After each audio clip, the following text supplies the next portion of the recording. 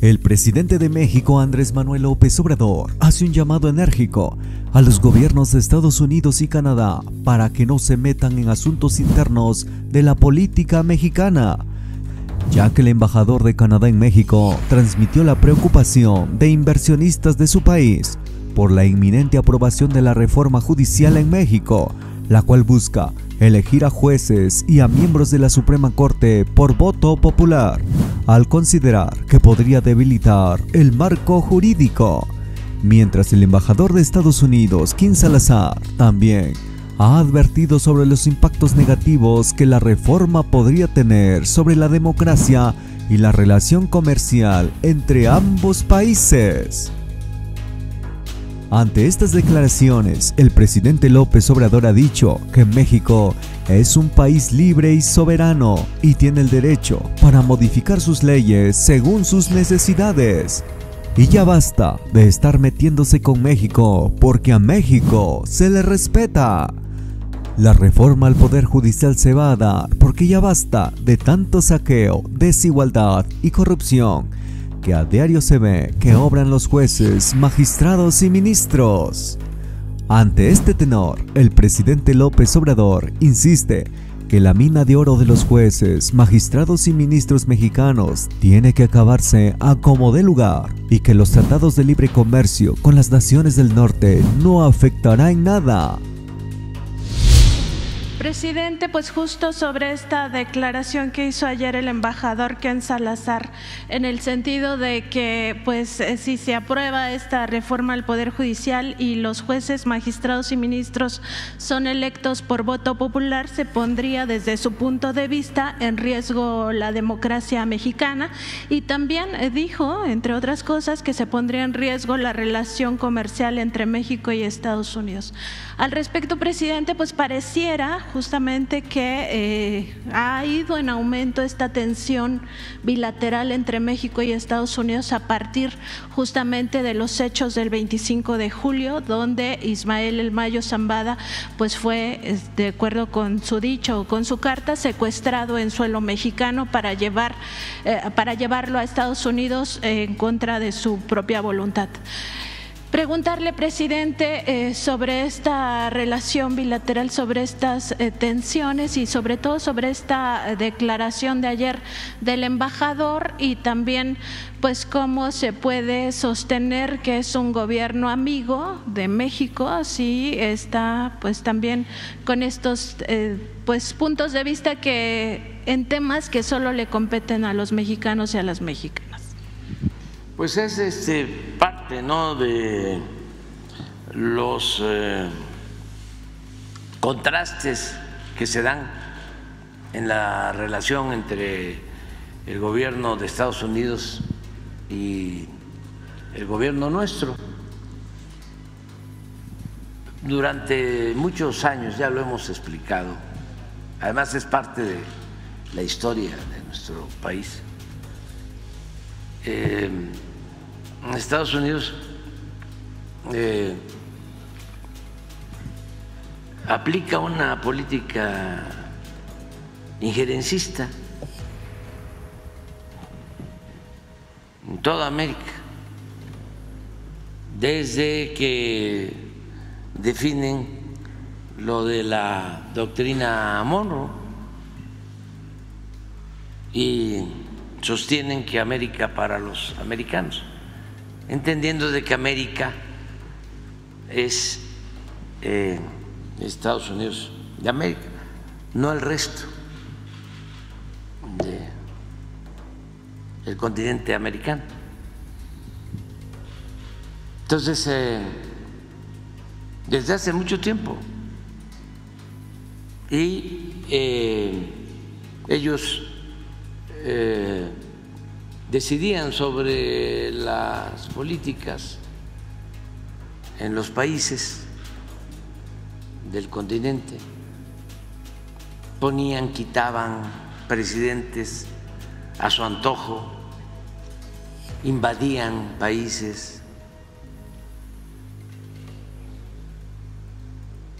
creaban nuevos países, protectorados Bueno, nosotros ya lo hemos dicho. Y es de dominio público. Fuimos invadidos dos veces de manera injusta en forma prepotente. La primera vez fue un zarpazo que nos dejó sin la mitad de nuestro territorio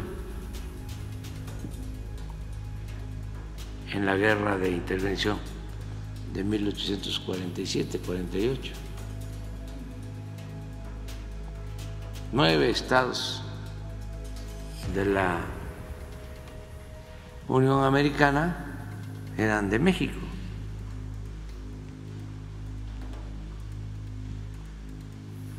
Todo California hasta San Francisco pertenecía a Sonora, Texas, pertenecía a Coahuila.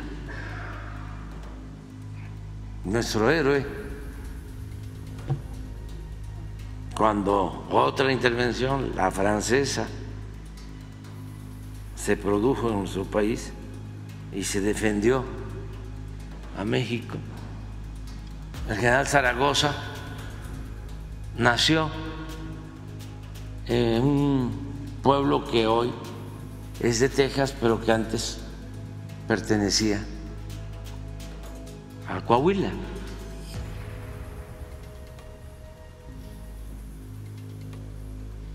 Fue muy triste para nosotros. Imagínense un 15 de septiembre de 1847, tomaron la ciudad e izaron la bandera estadounidense aquí en el Palacio Nacional. Y luego, en 1914, volvieron a invadirnos Veracruz, que estuvieron siete meses tomando nuestro territorio. Y luego eh, inventaron, crearon una estrategia distinta, más sutil y fue muy eficaz, la de abrir las universidades estadounidenses a jóvenes mexicanos ambiciosos para formarlos allá. Y hay constancia de que esto sucedió cuando el presidente Wilson, Woodrow Wilson, fue una recomendación de su jefe de Estado, que no hacía falta invadir ni disparar un tiro, era cosa de que los adoctrinaran a los jóvenes mexicanos ambiciosos en las universidades de Estados Unidos. Y se cumplió la estrategia, la profecía, porque allá estudiaron. Ah, la recomendación era, se van a formar y pueden llegar a ser presidentes y lo van a hacer mejor que nosotros.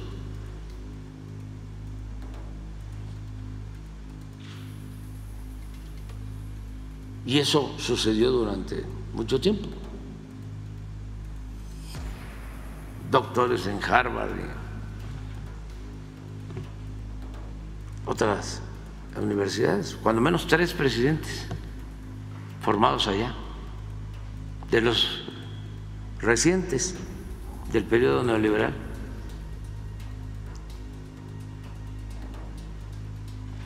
Y bueno, ahora hay una transformación en México porque el pueblo así lo decidió, porque no solo dominaban en lo político, sino nos imponían la agenda económica.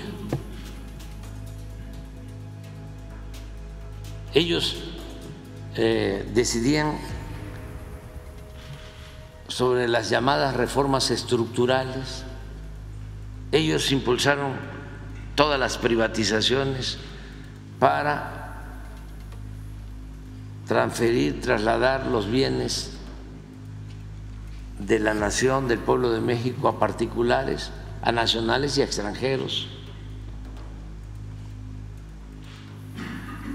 Entonces, esa política neoliberal, neoporfirista, antipopular, entreguista, nos llevó a una tremenda crisis, a una decadencia. Y el pueblo de México, que es un pueblo con tradición de lucha por la justicia, por la libertad, por la independencia, por la soberanía, dijo basta. Y se inició esta nueva transformación. Y ahora, en política exterior, no estamos haciendo más que cumplir con lo que establece el artículo 89 de nuestra Constitución. Va a ser valer de que México es un país independiente y soberano, que estamos a favor de la no intervención, de la autodeterminación de los pueblos, de la solución pacífica de las controversias y de la cooperación para el desarrollo.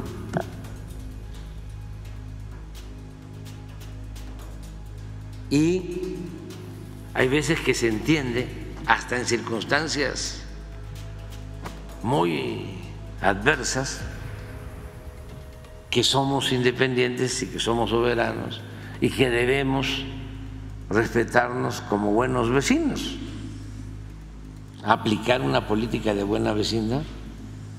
Parece increíble, pero nos entendimos con el presidente Trump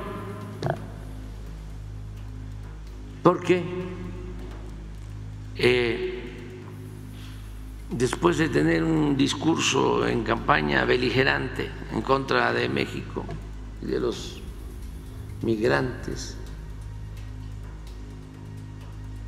fue muy respetuoso. Hasta firmamos un tratado comercial. Y no eh, nos ofendió en el tiempo en que estuvo él de presidente y yo también como titular del Ejecutivo, como presidente de México. Fue bueno, bueno las relaciones. Luego se dan los cambios con el presidente Biden, que es una muy buena persona, se mantuvo también una política de respeto. Él mismo me decía, la relación entre nosotros se tiene que dar en un pie de igualdad.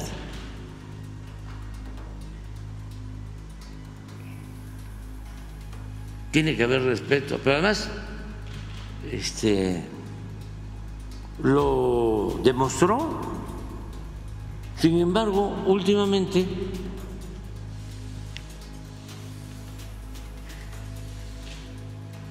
han habido, este, como tú lo señalas, eh, actos este,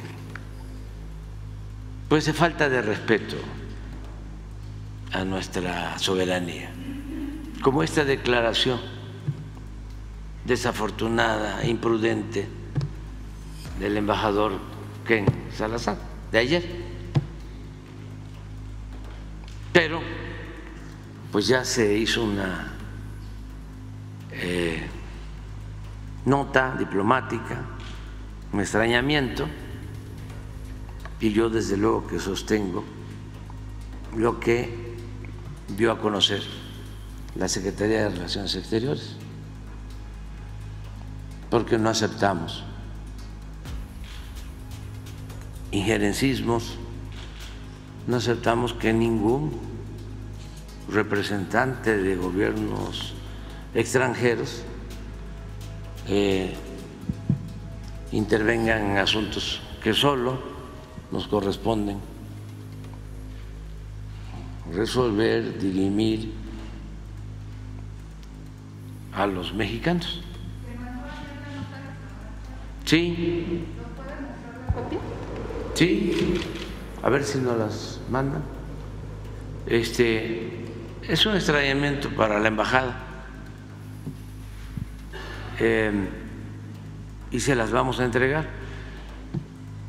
Yo espero que pues esto no se repita.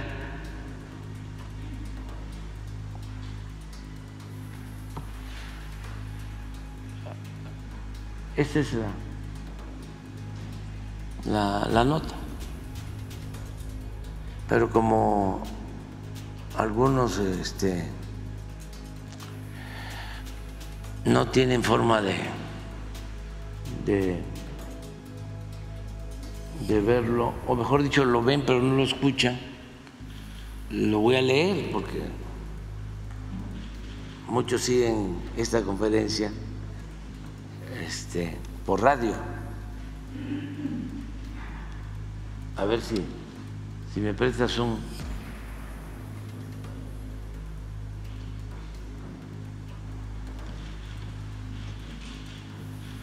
Dice la Secretaría de Relaciones Exteriores saluda atentamente a la Embajada de los Estados Unidos de América en los Estados Unidos mexicanos y hace referencia a la declaración del embajador Ken Salazar del día de hoy, en la que se expresa su opinión respecto a la propuesta de reforma judicial de los Estados Unidos mexicanos. Porque la opinión tiene que ver con este, la iniciativa que se envió para llevar a cabo una reforma en el Poder Judicial, que es este pues un procedimiento completamente legal. El presidente tiene la facultad para presentar iniciativas al Congreso. Y el Congreso decide, que es otro poder, precisamente el poder legislativo. La Secretaría de Relaciones Exteriores expresa su profundo extrañamiento por dicha declaración del embajador Salazar sobre cuestiones internas y de plena soberanía nacional. El gobierno de los Estados Unidos mexicanos se permite destacar que el objetivo principal de la iniciativa de reforma constitucional es fortalecer el Estado de Derecho mediante una reforma al Poder Judicial que se realiza a través de los procedimientos democráticos consagrados en la constitución política de los Estados Unidos mexicanos. es eh, una acción que se da en el marco de lo que establece nuestra Constitución. El gobierno de México está comprometido con un poder judicial que goce de verdadera independencia, verdadera independencia, autonomía y legitimidad, fortaleciendo así el Estado de Derecho y mejorando el acceso a la justicia para todos. ¿Por qué estamos proponiendo esta reforma? porque el Poder Judicial está plagado de corrupción, está lleno de corrupción y está secuestrado, está tomado, está al servicio de una minoría rapaz, los que antes se sentían los dueños de México. Y nunca el Poder Judicial, en los últimos tiempos, en la historia moderna, ha impartido justicia para los mexicanos, sino está convertido en un instrumento al servicio de una minoría. Era lo que sucedía con el poder legislativo, que desde que empezaron a aplicar la política neoliberal o neoporfirista, reformaron la constitución, ahí no había ninguna protesta ni de Estados Unidos, ni de la oligarquía nacional, ni de los medios de comunicación al servicio de la oligarquía. Y todas las reformas que se hicieron en 36 años del periodo neoliberal fueron para legalizar el robo, el saqueo de los bienes de nuestro pueblo y de los bienes nacionales, las privatizaciones. Y es increíble que en 36 años que duró el periodo neoliberal, nunca aprobaron una sola reforma a la Constitución en beneficio del pueblo. Se dedicaron, al contrario, a quitarle todo lo que se había conseguido con la revolución de 1910 y había quedado escrito en la Constitución de 1917. Eh, llevaron a cabo contrarreformas, modificaciones al artículo 27 para que desapareciera el ejido y que la tierra ejidal quedara al mercado, que se privatizara. Entregaron las empresas públicas, entregaron las minas, entregaron los ferrocarriles, congelaron los salarios de los trabajadores, le quitaron las prestaciones a los trabajadores, avanzaron en la privatización de la educación pública, de la salud. Entonces, eh, en ese entonces, yo recuerdo que cuando se llevó a cabo la llamada reforma energética para privatizar el petróleo, se acudió a la Corte, al Poder Judicial, para que se celebrara una consulta al pueblo de México, porque lo establece la Constitución en el artículo 35. ¿Y qué hicieron los del Poder Judicial? Rechazar la solicitud de consulta. Y en todo el Poder Judicial ha estado a favor de esta política que beneficia a una minoría de nacionales y de extranjeros. Por eso eh, se quiere llevar a cabo esta reforma al Poder Judicial. Aquí estamos hablando de la protección del Poder Judicial a los delincuentes de cuello blanco, nacionales y extranjeros. Pero también el Poder Judicial está controlado por eh, las bandas o los jefes de las organizaciones criminales. Domina la delincuencia organizada y domina la delincuencia de cuello blanco al Poder Judicial. Entonces, por eso es importante la reforma. ¿Y qué se propone? De manera muy sencilla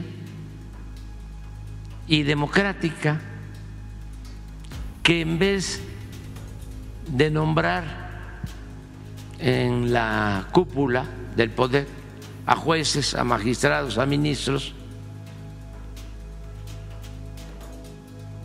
porque el Poder Judicial fue cuando se llevó a cabo esta política neoliberal una moneda de cambio para que el PAN apoyara al PRI de Salinas en todas las reformas privatizadoras, les entregó por completo al PAN el Poder Judicial. Como en el gobierno de Cedillo se llegó al extremo de que el Procurador General de la Justicia, de Justicia era un panista, fue una concesión.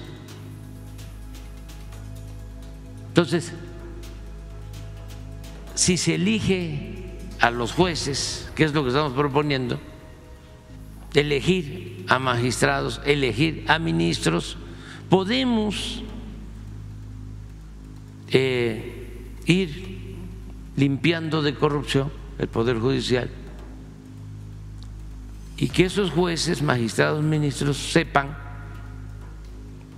que representan al pueblo, a la nación, y que su función es impartir justicia, por eso es Suprema Corte de Justicia de la Nación. Si no, habría que quitarle el nombre, quitar la palabra justicia. Entonces estamos proponiendo esa reforma y no quieren. ¿Cuál es eh, la afrenta? ¿Cuál es el agravio? ¿Cuál es la violación que se está cometiendo? Que no los mexicanos vivimos en una democracia que no es la democracia el gobierno del pueblo y para el pueblo, que no establece el artículo 39 de nuestra Constitución, que el pueblo tiene en todo momento el derecho de cambiar la forma de su gobierno, que no es el pueblo el soberano, el que manda, ¿por qué se elige a los presidentes municipales, a los diputados locales, a los diputados federales, a los senadores, a los gobernadores, al presidente de la República, ahora presidenta de la República, y no se va a poder elegir a los jueces, a los magistrados, a los ministros. Además, ya esto no tenemos que estar viendo qué sucede en otros países, donde también, dicho sea de paso, se elige a integrantes del Poder Judicial. Pero tenemos nuestra historia. Aquí en la época de la República restaurada, en la época del presidente Juárez, de acuerdo a la Constitución de 1857, se elegía a los ministros, a los jueces, a los integrantes de la Suprema Corte de Justicia. ¿Por qué no quieren que el pueblo elija a los jueces, a los magistrados, a los ministros?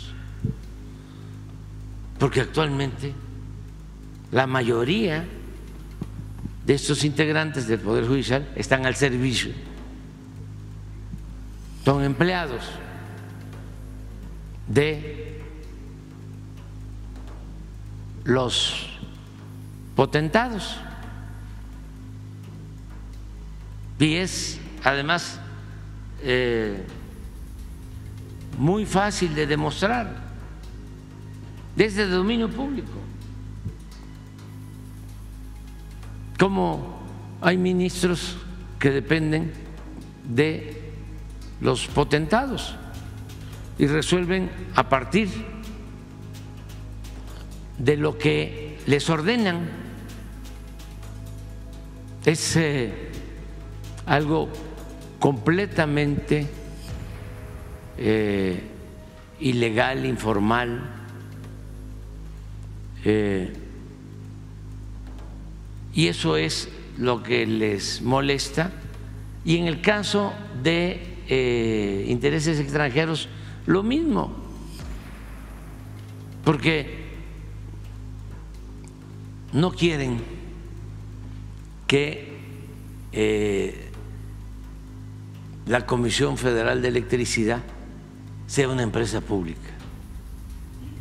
Quieren que toda la industria eléctrica esté en manos de empresas privadas. Lo mismo el petróleo y todas las actividades económicas. Y nosotros pues no estamos aquí para aplicar esa política. Eso era antes del 18. Tardaron 36 años con esa política, desde 1983 hasta el 2018. Y fue un fracaso rotundo. Lo que este, dejaron al pueblo de México fue más pobreza, una monstruosa desigualdad económica y social y violencia que todavía estamos padeciendo por el abandono al pueblo, por el abandono a los jóvenes y, desde luego, por la corrupción, porque se dedicaron a saquear. Es increíble, pero nunca en la historia de México habían robado tanto los potentados como en los 36 años del periodo neoliberal. Ni siquiera en los tres siglos de dominación colonial, cuando fuimos colonia de España, que saquearon, que se llevaban el oro, la plata, se compara con el gran saqueo que se llevó a cabo en 36 años de periodo neoliberal o neoporfirista. Y eso es lo que quieren, que continúe. Y por eso eh, son estas este, protestas. Pero qué bueno, ¿no? No hay que enojarse, nada más eh, aclarar, argumentar, informarle a nuestro pueblo, que además es un pueblo muy consciente, lo acaba de demostrar hace cerca de tres meses. Pensaron que con campañas mediáticas, con guerras sucias, con el uso del dinero, porque también de Estados Unidos mandaban dinero, ahora me dicen que solo hasta el 2023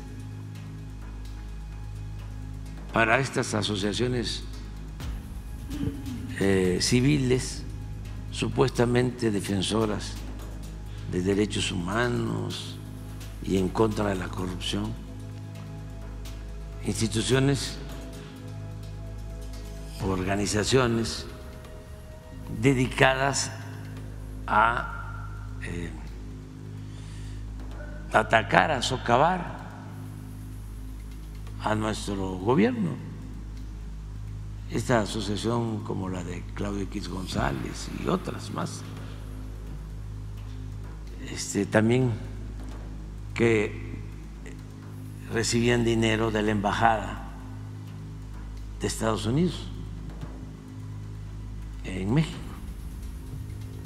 Pero bueno, ya cuando menos, ya nos eh, contestaron de que este, se terminaron los convenios hasta el 23, o sea que ya 24 ya no este, les dan dinero.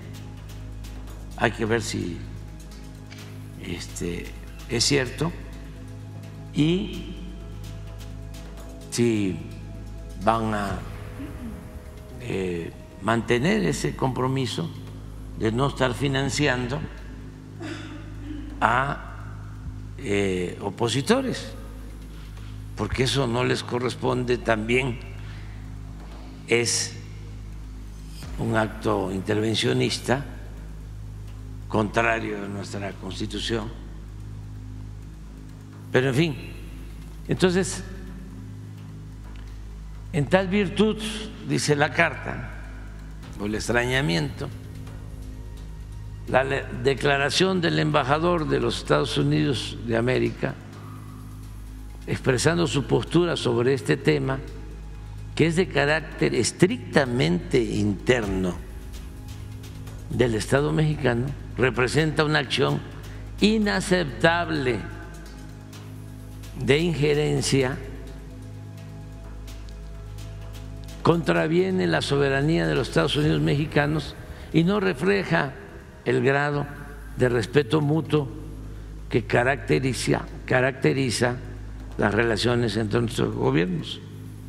Nosotros no vamos a recomendarles, imagínense que Esteban Moctezuma el embajador de México en Estados Unidos este, lea un documento diciendo que por qué Estados Unidos eh, vende o regala tantas armas para que se hagan las guerras en Gaza o en Ucrania o en cualquier otra parte en donde mueren inocentes, ¿qué contestarían?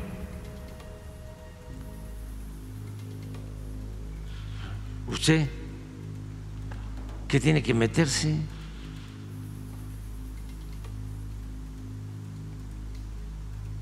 Nosotros no hacemos eso.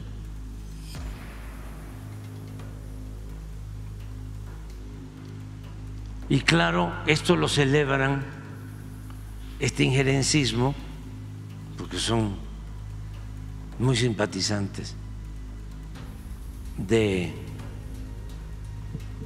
la política prepotente, ¿no? de Estados Unidos lo celebran los de la oligarquía, la prensa vendida o alquilada. Estoy seguro que las declaraciones, no he visto la prensa, pero de este, Ken deben de estar en ocho columnas en todos los periódicos, todos. A ver, ponga el reforma. Bueno, ya termina ahí la. El reforma, pon el universal, porque son iguales. Es lamentable. No, y al rato va a aparecer hoy un manifiesto de apoyo a Ken Salazar, de los abajo firmantes, de la intelectualidad orgánica, del conservadurismo. De ustedes no. Y de la mayoría de los mexicanos, mucho menos, tampoco. Ahí está.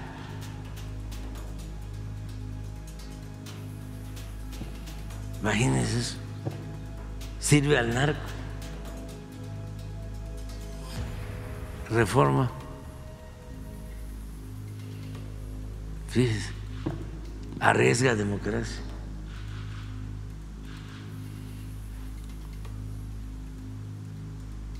A ver, a ver, esa, esa de milenio. Hasta Francisco se fue. Embajadores de Estados Unidos y Canadá ponen peros. ¿Y quiénes son? Con todo respeto. Para opinar sobre este tema.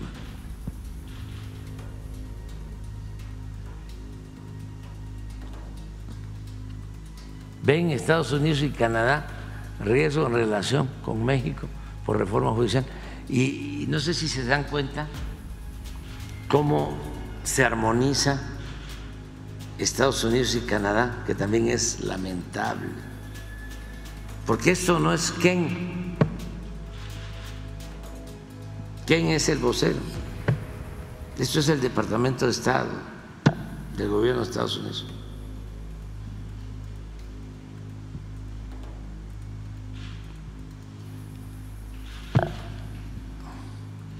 ¿Y quién no es este? Aquí está también. Reforma judicial. Riesgo para relación comercial en el tratado. ¿Saben? Hay, hay este, ¿quién no no está en los extremos de los embajadores que han habido en México, de Estados Unidos. Este, el peor de todos, Wilson, ese dirigió eh, el operativo, la canallada, para asesinar al presidente Madero, al apóstol de nuestra democracia, llamado Pacto de la Embajada. Ahí se reunieron todos los traidores para eh, detener al presidente aquí en Palacio. 1903, presidente electo democráticamente, y al vicepresidente, José María Pino Suárez. Y los detuvieron aquí, los bajaron a la Intendencia del Palacio, los tuvieron como cinco días presos en la Intendencia, y luego en la madrugada mes de febrero, 23 de febrero. Los sacaron en 1903 y los asesinaron. Y todo eso lo fraguó, eh, lo dirigió el embajador de Estados Unidos en México, Wilson. Lo peor, lo peor que ha habido. Y el mejor, fíjense, Daniel, Joseph Daniel, embajador, cuando el presidente de Estados Unidos era Franklin Delano Roosevelt, claro, un gran presidente. Hay dos presidentes que nosotros los mexicanos tenemos que eh, respetar mucho dos presidentes de Estados Unidos. Uno, el presidente Lincoln. Fíjese, presidente Lincoln, republicano, pero no reconoció la intervención, la invasión francesa, ni a Maximiliano, al emperador ni a la emperatriz Carlota. Y apoyó al presidente Juárez. Pero eso se decía antes. Habrán muchos habranes, pero como habrán, no habrán. Así se decía en México. Un gran reconocimiento a Lincoln. Y el otro presidente, Roosevelt, demócrata, porque a él le corresponde gobernar Estados Unidos después de una crisis económica, un crack económico. Él saca adelante a su pueblo y lleva a cabo una política de buena vecindad. Neruda, poeta de izquierda chileno, premio Nobel de literatura, llega a decir que Roosevelt era el titán de las libertades.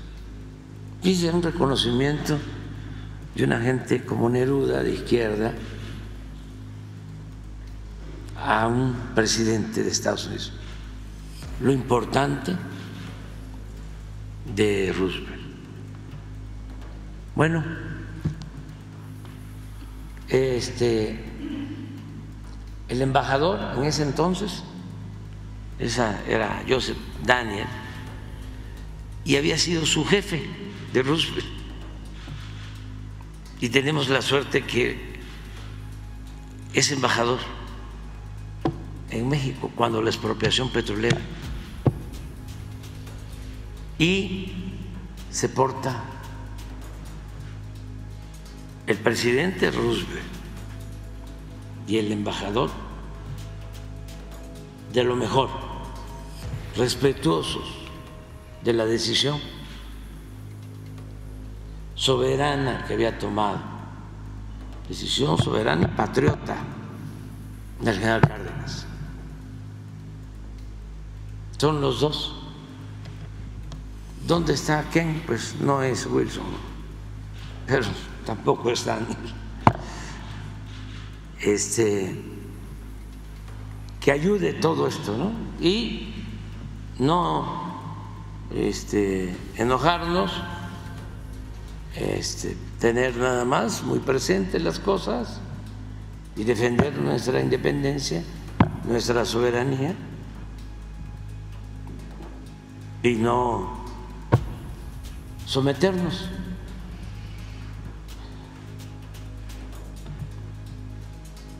frente a ninguna potencia extranjera. No es nada más el caso de Estados Unidos.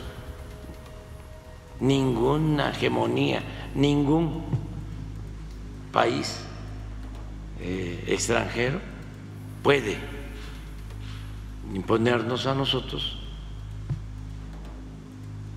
las políticas que corresponden a los mexicanos decidir como este caso. Es una burda este, actitud intervencionista. A ver qué va a opinar la gente. Y este, le hago la pregunta a los que nos escuchan, los que nos están viendo o los que se van a enterar quieren que el pueblo elija a los jueces, a los magistrados, a los ministros, ¿sí o no? Ya nada más.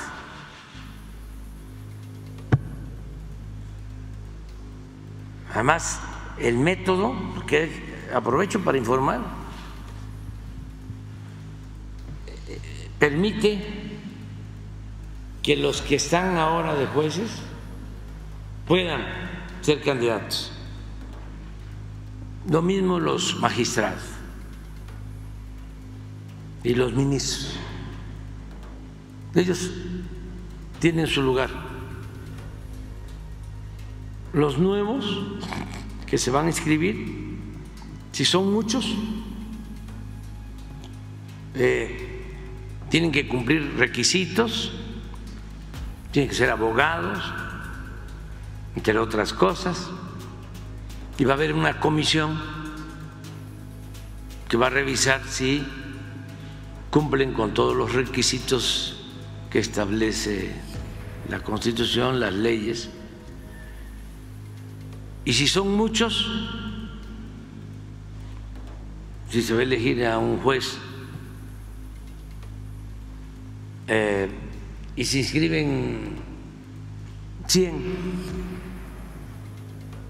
y solo pueden haber 10 candidatos, mujeres y hombres, porque la mitad tienen que ser mujeres y la mitad hombres.